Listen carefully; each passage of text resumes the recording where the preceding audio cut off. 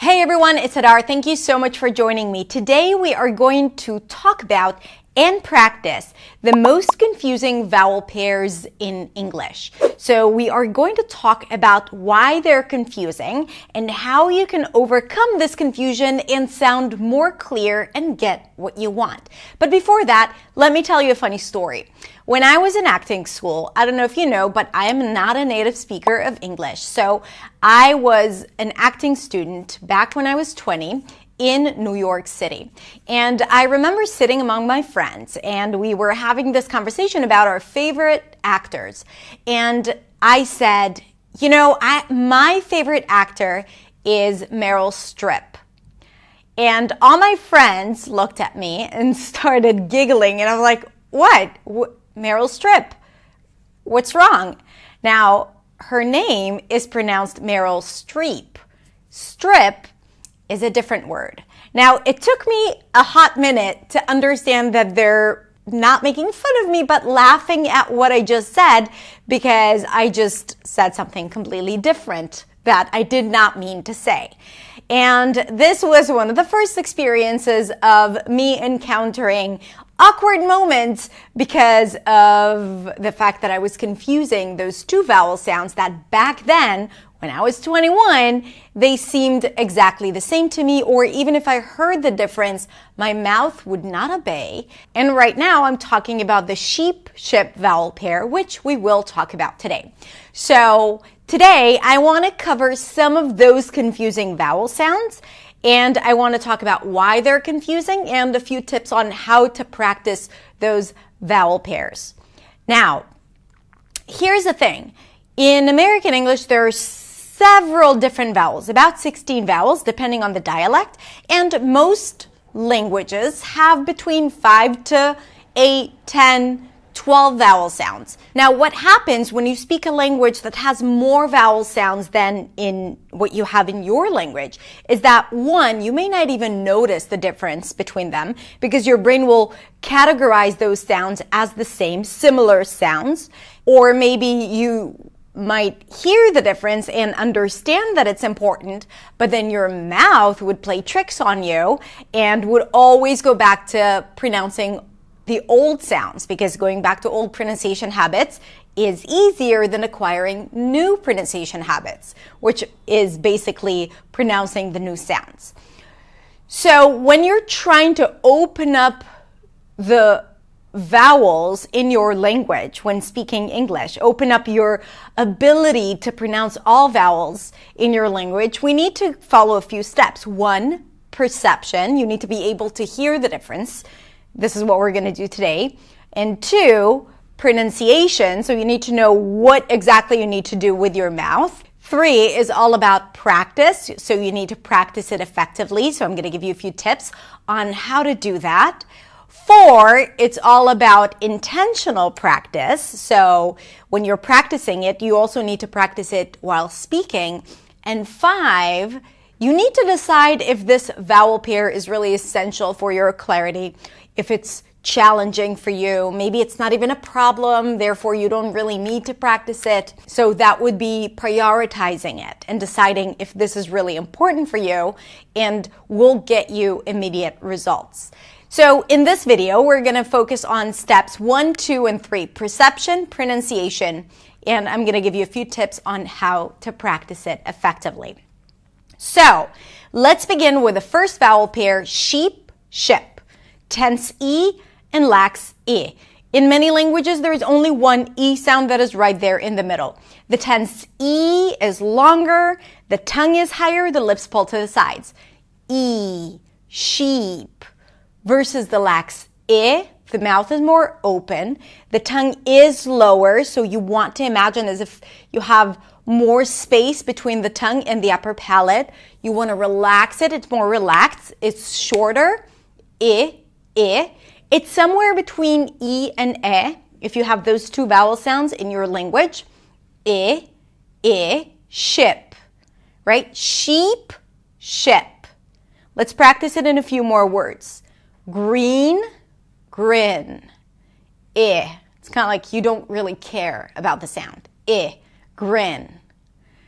Leap, lip. peach, pitch, seek, sick, e, i, e, i. The next vowel pair that we're going to practice today is i versus e. This is not important for most speakers, but if you tend to confuse those two vowel sounds like bin and ben, this practice is definitely for you. So here we're talking about the lax i, usually represented with the letter I, bin, sit, fit, versus the e sound that is usually represented with the letter E, sometimes EA, like head, e, e. Bin, ben. Chick, check. Disc, desk. Middle, metal. I, eh. As you can see, I lower my jaw, I, and also I lower my tongue, I, eh. I, eh. Bin, ben. Middle, me, metal, metal. This one is closer to a neutral S sound. In English, the S sound is a bit more open. Eh, eh, eh. Bitter, better. Bitter, better. Okay, good. The next vowel pair is e versus a. Bed, bad. E, usually represented with the letter E, just like the one that we practiced now, e, versus a, usually represented with the letter A.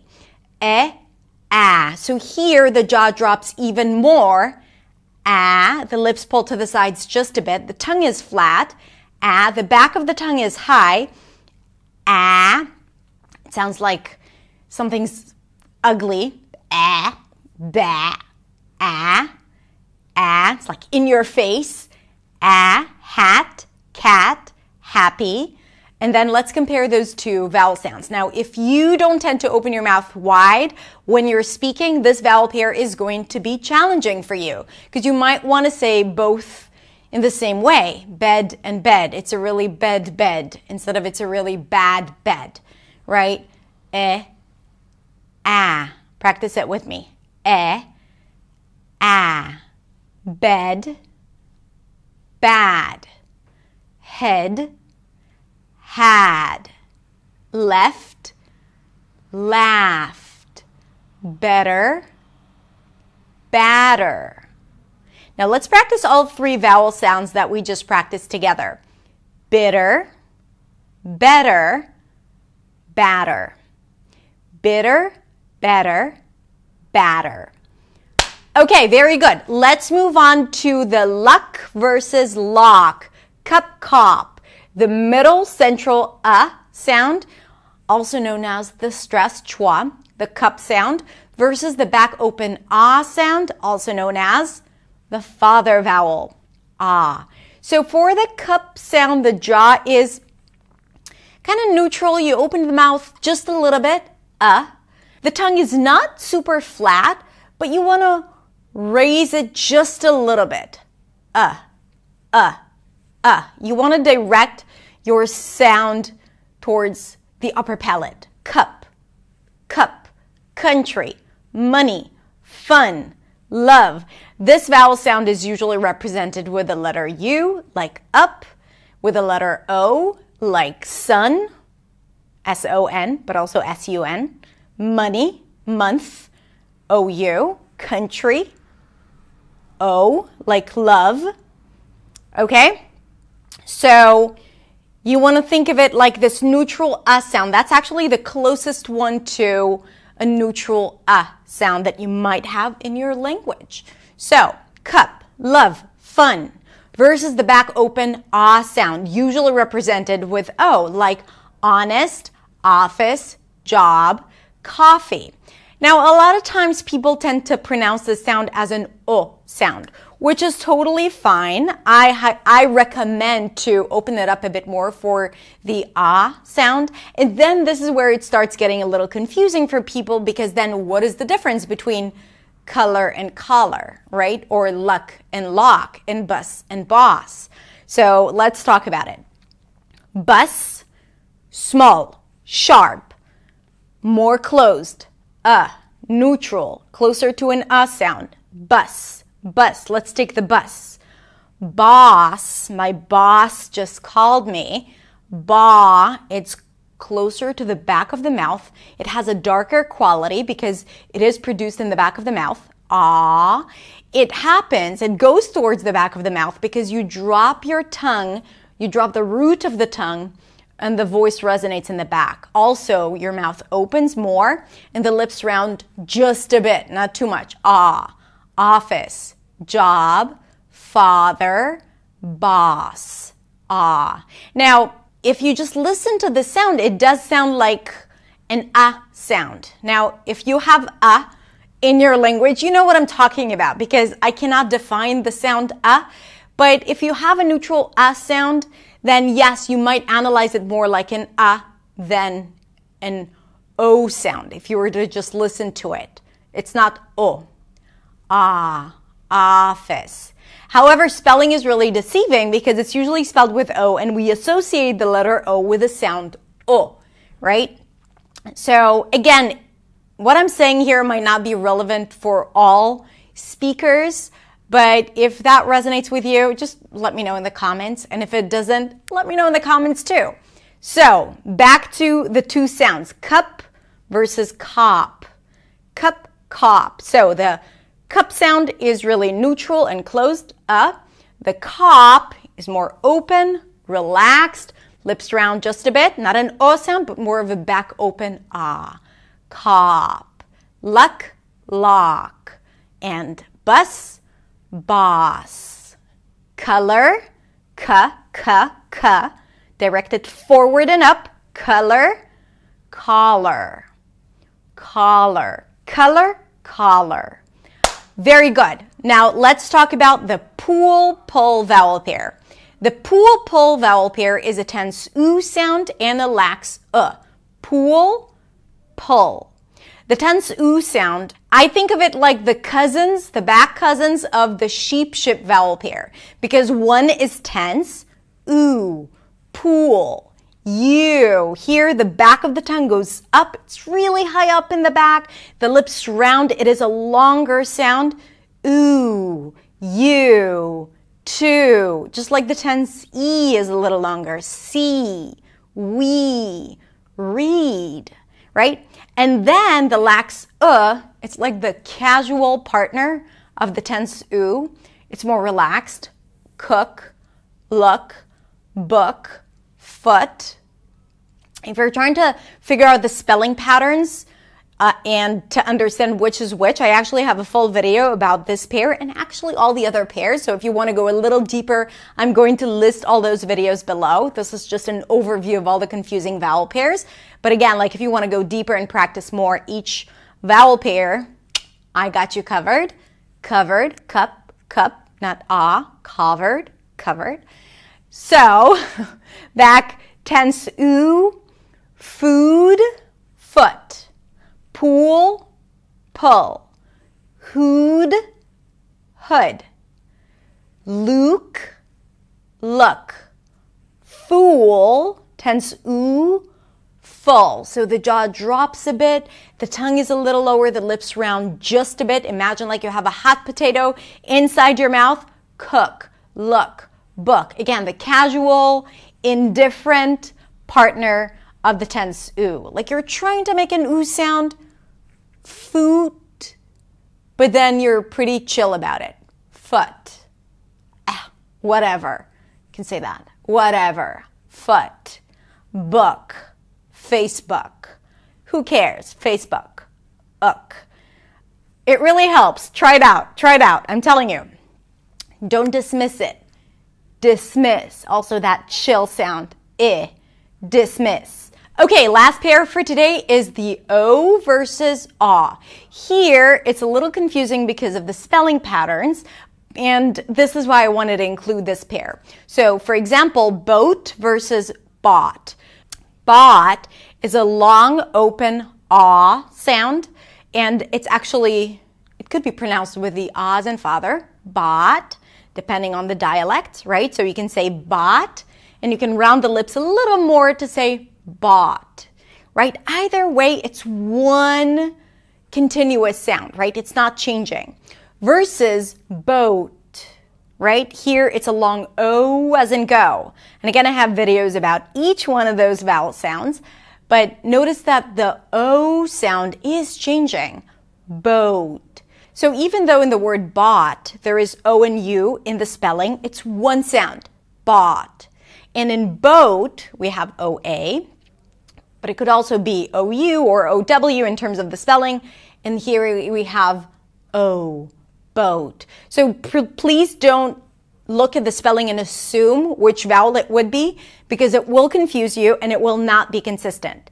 I want you to open up your ears and start hearing the sounds that we're now making, you and me, right? Instead of trusting the spelling because spelling and pronunciation are very, very inconsistent. Even though there are patterns, it's still very inconsistent. So you need to develop new systems to know what it is that you're hearing. Okay? So let's practice a few of those vowel pairs. Law, ah, ah, low. Now, if you struggle with the long O sound, some people might actually struggle with the diphthong, which with making this long O sound, then these two words would sound the same law, and law, right? If you look at the spelling and you see AW and you think, oh, it's a changing vowel, then again, both would sound the same, low and low. So try to place yourself on the spectrum, try to understand what is confusing to you so you'll have a better understanding as to what you need to change in terms of your perception and in terms of your pronunciation. Okay, so let's practice it a bit more lawn, loan. A O. Lawn, loan. Want, this is a good one. Want versus won't.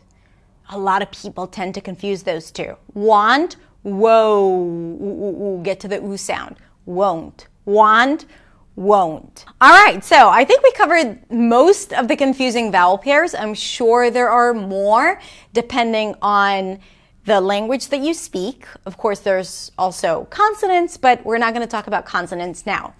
So, how to practice. If you found one of those vowel pairs exceptionally difficult, or you haven't even noticed this pair before, that it existed. Therefore, it probably means that you were merging those two vowel sounds and then different words sounded the same. Then I would encourage you to go online or go to my website and find lists of words where you see those pairs, right?